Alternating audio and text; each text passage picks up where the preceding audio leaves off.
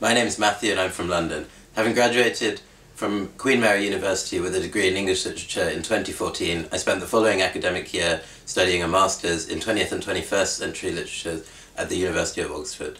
Now I tutor for Tavistock primarily in English, language and literature from GCSE to degree level, and I'm also available for help with essay writing, personal statements and any other element of the university application system. If you would like to book me for a job, I look forward to working with you and your family soon.